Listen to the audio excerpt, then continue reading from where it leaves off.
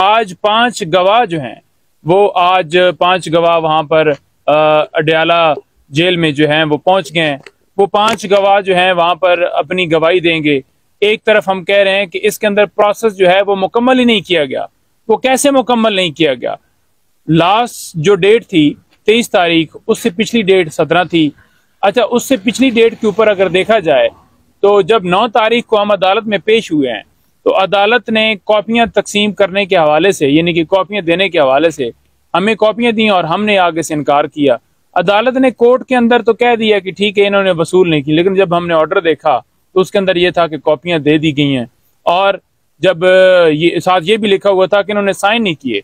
और अगर ये साइन अगली डेट के ऊपर भी नहीं करते तो ये तस्वर किया जाएगा कि इन्होंने साइन कर दिए हैं। बात ये है कि ऐसे थोड़ी मुमकिन है हम उस ऑर्डर को इस्लामाबाद हाई कोर्ट में लेकर आए हम्म। लेकिन जब जज साहब ने ये देखा कि ये तो मामला ऊपर आ गया उन्होंने उस चीज़ को कवर करने के लिए अगली डेट के ऊपर कॉपियाँ भी ले हाँ। ली और फिर जो फर्द जुर्म के लिए तेईस तारीख रख दी अच्छा। फर्द जुर्म के लिए टोटल जो है वो सात दिन चाहिए होते हैं छह दिन के अंदर अंदर उन्होंने कहा कि जनाब फर्द जुर्म लगाया जाएगा अब फर्द जुर्म लग ही नहीं सकता क्योंकि केस है साइफर का हम्म। साइफर जो है रिकॉर्ड के ऊपर नहीं है हम्म। साइफर जो है ये है ना कि इमरान खान साहब ने साइफर चोरी किया है लेकिन जब साइफर जो है वो आ, उस चलान के साथ है ही नहीं तो केस कैसे चल सकता है आगे? लिहाजा वहाँ पर कोई जवाब नहीं है। ये बिल्कुल केस बोगस है झूठा है बाहर से धमकी मिली और जो प्राइम मिनिस्टर होता है उसकी सवाबदीद है कि वो कौम में जाए। और ये खान साहब से जब हमारी मुलाकात हुई कल भी तो हाँ। बाकायदा तौर पर उन्होंने ये बात दोबारा रिपीट की। उन्होंने कहा जी कि मैंने अवाम से वोट लिया है और मैंने कौम के पास जाना है। मैंने कौम के पास ही जाना है। मैं किसके पास जाना है? क्योंकि बाहर से धमकी मिली और ये कहा गया कि वज़ीर आज़म को हटा दो। तो मैं अपनी कौम को क्यों ना बताता? और डी क्लासीफाइड किया गया। कोर्ट किसी के साथ शेयर नहीं किए। राना सनाउल्ला अता तारड़, ये सारे कह चुके हैं कि ओरिजिनल साइफर जो है, इस वक्त फॉरेन ऑफ़िस के अंदर पड़ा हुआ है। तो फिर केस किस बात का? अच्छा नहीं बजौदा साहब, अभी आपने कहा कि आप आप सुप्रीम कोर्ट का दरवाज़ा खटखटाने जा रहे हैं। तो किन ग्राउंड्स पर आप इस फैसले को चैलेंज करेंगे आज के? देखिए, यही ग्राउंड जो आपके सामने मैंने बयान किए हैं कि ये साइफर है केस बिल्कुल झूठा है। साइफर केस के अंदर है कुछ नहीं। ये सिर्फ़ और सिर्फ़ इमरान खान साहब को इस केस के अंदर रखने के लिए सारा किया जा रहा है। इसमें जो कंप्लेनेट होना था, वो होना था फॉर एग्ज़ाम्पल जी, होता भी क्योंकि साइफर इस फॉरन ऑफ़िस के रिलेटेड मामला है तो फॉरन ऑफ़िस होता, नहीं हुआ। फिर डेढ़ साल के बाद ये एफ़ आई आर दर्ज की जा रही है।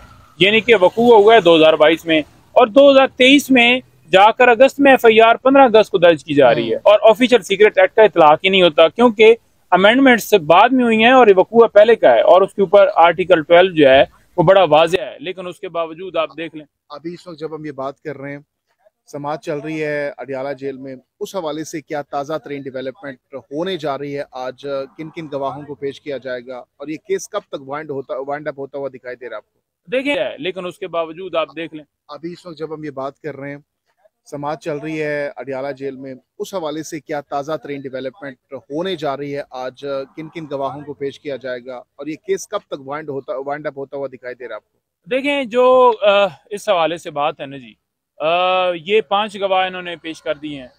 अच्छा एक तरफ़ वज़ीर अजम जो है, वो कह रहा है कि यूँ धमकी मिली है और हुकूमत गिराई गई है। क्या उसकी क्रेडिबिलिटी है?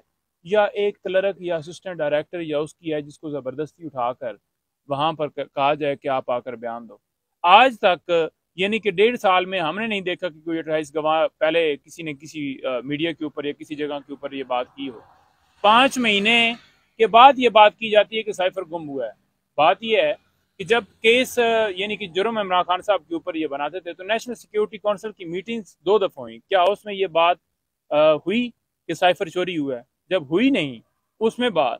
तो फिर यानी कि नवाज़ शरीफ साहब ने भी जब बैठ की तो फिर अचानक से बाद में ये कहा जाता है क्योंकि बाकी केसेस जो हैं वो 200 के करीब उस वक्त टोटल तो नहीं बने थे लेकिन 100 के करीब तो बन चुके होंगे ना।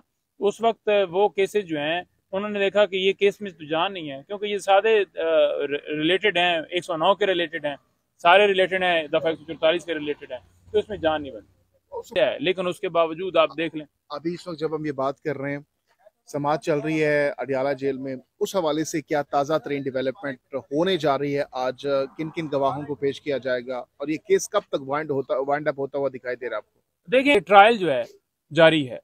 और इन कैमरा प्रोसीडिंग्स की जा रही हैं। इन कैमरा प्रोसीडिंग्स करके उस ट्रायल की कैसे शफाफियत आप कर सकते हैं?